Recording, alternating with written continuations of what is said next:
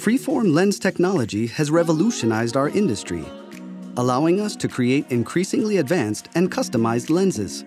What makes freeform lenses better than conventional ones?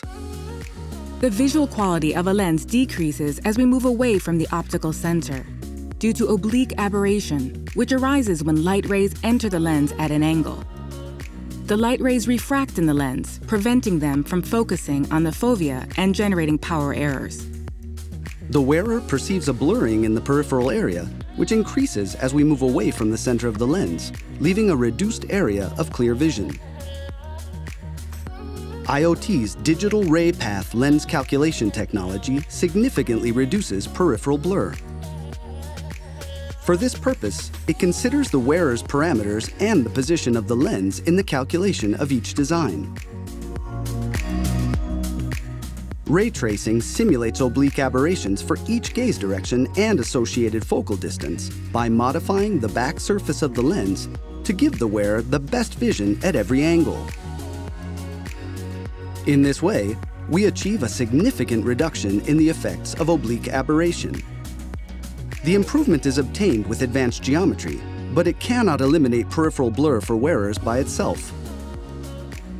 The new version of the digital ray path technology gives us the answer to overcoming any geometrical limitation.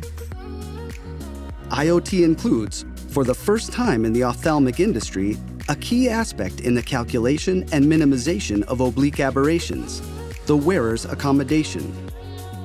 Accommodation is the natural mechanism that allows us to focus accurately at different distances. Up until now, custom lenses were only optimized to view objects at a single associated distance. However, by stimulating and relaxing a small part of their accommodation, the wearer can focus sharply over a range of distances at the same point on the lens without moving their eyes or changing their gaze direction. This range of distances is known as accommodative object space.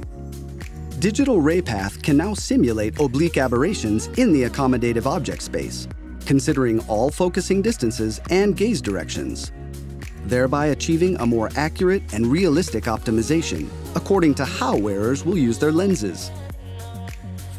In addition to the inclusion of the accommodative object space, it uses an innovative mathematical model that intelligently minimizes oblique aberrations, considering the wearer's accommodative power. To understand this, it is necessary to know the components of the error induced by oblique aberration and how the visual system perceives them. This induced error is composed of a cylindrical power error, which generates distortion, and a spherical power error, which produces blur. The visual system reacts differently to both errors.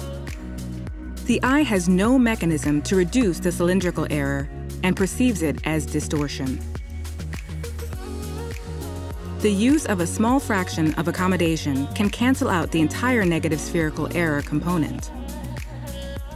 Digital RayPath can now maximize the reduction in cylindrical power error and keep the residual sphere component, which is the one that can be easily compensated with accommodation. The result is a fully customized lens with a more efficient compensation of oblique aberrations that offers the wearer impeccable visual quality and precise, comfortable focusing. IOT, see the difference.